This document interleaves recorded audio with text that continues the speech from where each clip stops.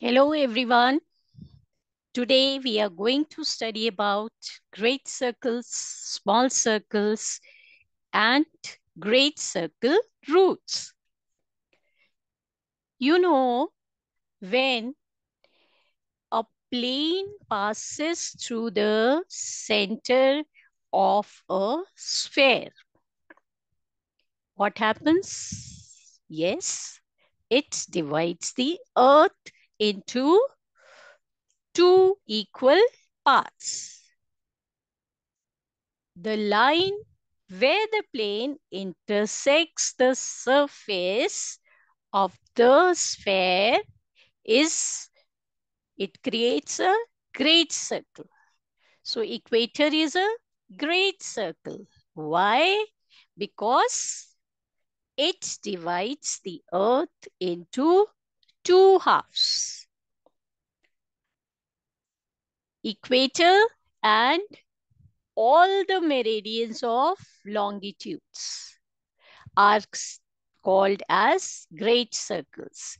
We know all the meridians of longitudes, they meet at the poles, North Pole and South Pole, thus forming a great circle.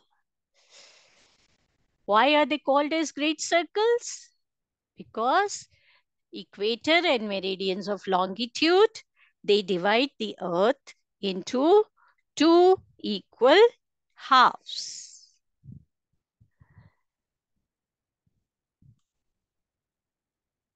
Uh, besides equator, the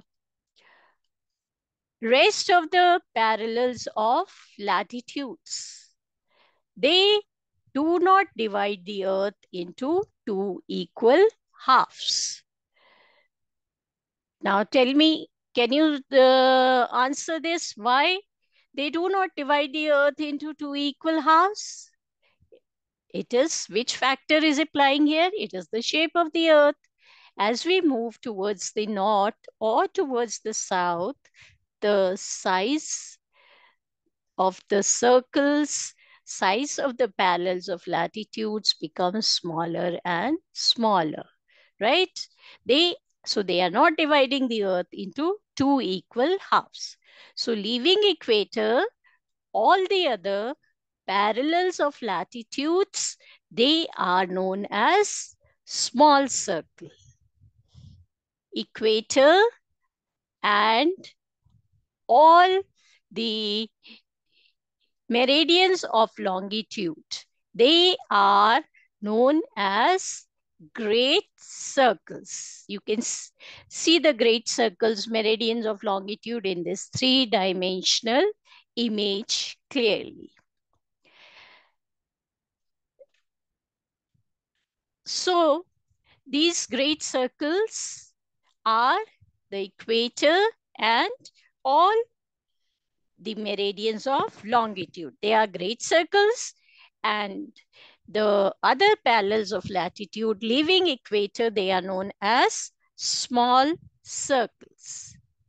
Now the great circle routes.